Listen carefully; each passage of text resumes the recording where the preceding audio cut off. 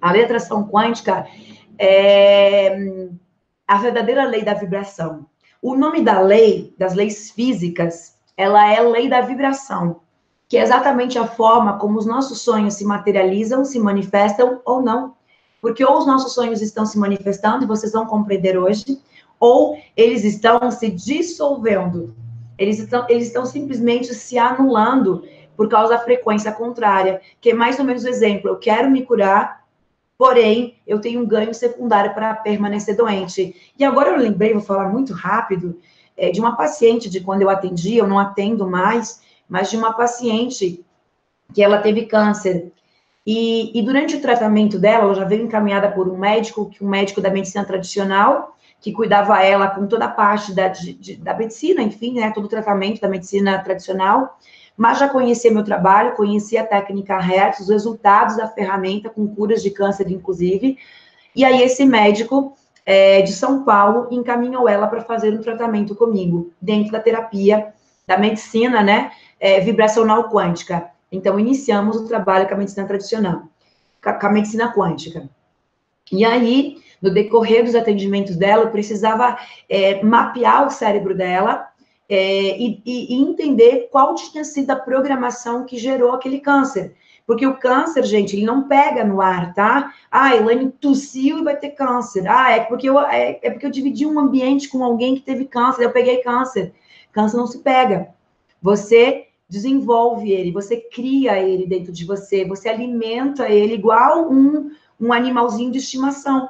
Você alimenta ele todos os dias, e como você está dando comida para ele todos os dias, ele vai ter que se manifestar. Entenderam a metáfora? E o que, qual é a comida que você dá para o câncer todos os dias?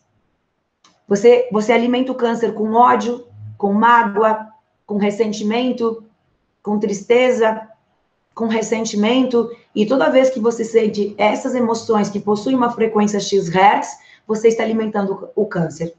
E se você alimentar esse, é, é, e se você alimentá-lo, alimentar esse sintoma num período, num, num dado tempo, um dado período, é o tempo que ele precisa para ser manifestado, que seria explicado de que maneira? Um processo de somatização. É um processo onde eu somatizo, eu neurosomatizo, porque eu crio conexões neurais com aquela emoção, eu neurosomatizo todos os dias uma emoção.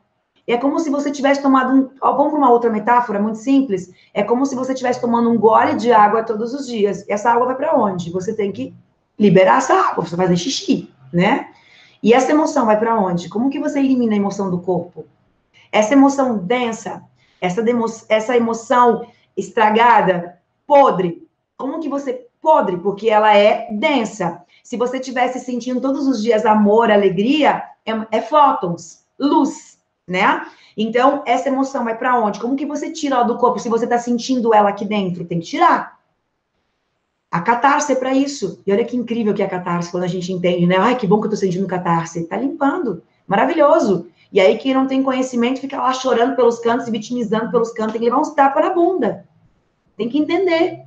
E aí, quando você entende, você diz: bom, deixa eu colher isso aqui, curar, porque isso aqui me pertence, que bom sentir isso. Ou você faz isso, ou vira um câncer. Mas a parte boa também é o seguinte: quando virou câncer, já está curado. Oi, como assim, Elaine? Porque o câncer, ele não é, ele não está no corpo físico. Ele manifestou no físico. Olha, olha as fichinhas caindo. Uau! O câncer, ele está nos teus outros corpos. E ele, e, só que como é que você vai curar o teu corpo astral, o teu corpo emocional? Como que você cura esse corpo? Mas você tem. Ah, você tem, tá? Não, eu não tenho. Não, você tem. Não, eu não tenho, Elaine. Então você é um extraterrestre. Oi, extraterrestre, bem-vindo ao planeta Terra. Aqui a gente come, a gente paga a conta. Então eu também, às vezes, também sou, porque as pessoas acham que eu sou, às vezes, né? Porque as pessoas dizem assim, ela não pode cobrar pelo trabalho dela. Então ela é uma extraterrestre, porque ela não come, ela não trabalha, ela não tem carro, ela não tem casa, ela não tem funcionário, ela não paga luz, ela não paga água. Bem-vindo ao meu mundo. As pessoas também acham que eu não devo cobrar pelo meu trabalho. Então, eu também sou um extraterrestre que chegou no planeta Terra, onde as leis físicas não funcionam para Elaine. Se você se identificou com isso, ok, então eu posso acreditar que você seja um também. Do contrário, as mesmas leis seguem para todas as pessoas da face da Terra. Fez sentido? Antes de concluir este exemplo, eu vou dar uma, um, um, dos princípios da física quântica que vai fazer muito sentido.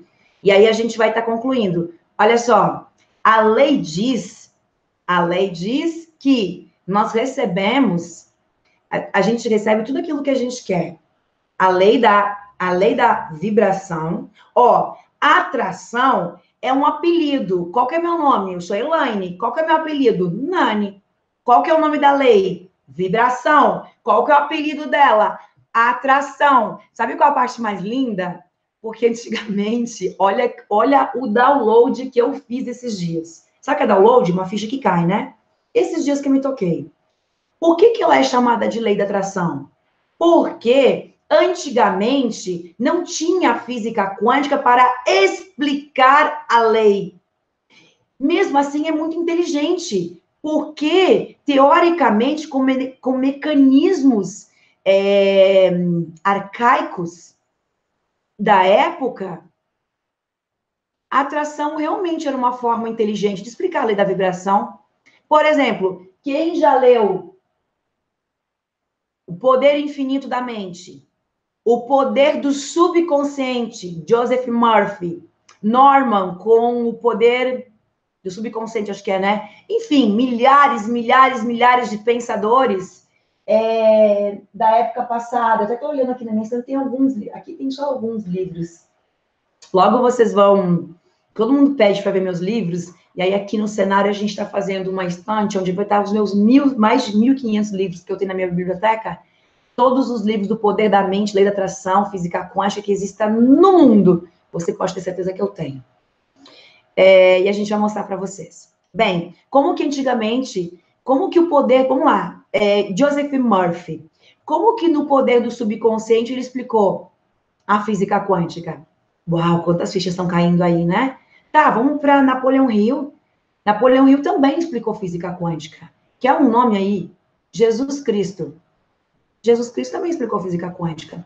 Porém, como a física quântica não era conhecida, não estava descoberta, ela ficava na mão apenas parte das pesquisas estavam nas mãos dos cientistas, então não tinha como explicar todo o poder que nós temos, todo o poder da criação na realidade, todo o poder das leis da vibração é, que prova, né, que criamos a nossa realidade, não tínhamos essa explicação. Então, Joseph Murphy, Napoleão Hill, é, aquele outro do, do, do, Mastermind lá, como é, é o nome dele? Quem lembrar, me fala aí no Sabe quando está aqui o card, card, card?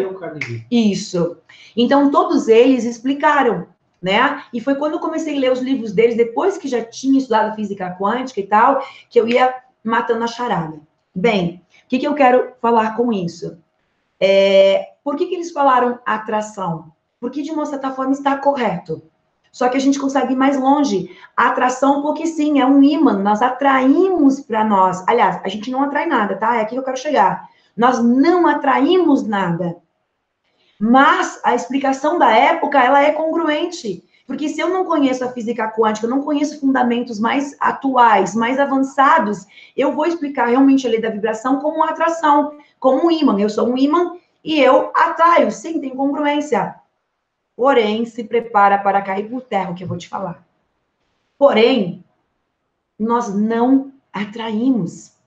Quando eu estudei física quântica, quando eu estudei ativismo quântico, desdobramento quântico, medicina quântica, tudo aqui, reprogramação mental, minha formação com Greg Braden, é, com Amit, com é, Jean-Pierre, enfim, todas as linhas que eu fui, Joy Dispenza e tal, é, fica claro para mim que tudo, absolutamente tudo que está na nossa vida foi criado.